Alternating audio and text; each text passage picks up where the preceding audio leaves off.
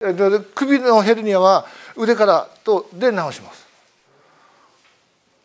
腕からあの首全部治りますので手からね。だから症状がある人言ったら言って相手に牽引させればいいんですから。持ってるだけで牽引でしょ？わかる？腕の重さで。吸ってる時に。呼吸が一番大事ですから。でもこれで牽引かかってますから。あとはいえー、今度吸ってる時に下ろせばいいんです。これでもう治ってま